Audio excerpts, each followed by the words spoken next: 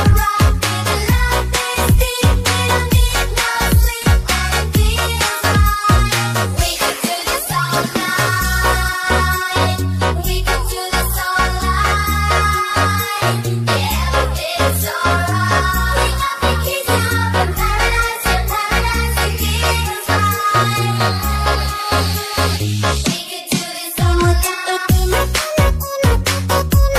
Selamat ulang tahun kepada tim Orel yang ke-17 Semoga kompak selalu dan jaya selalu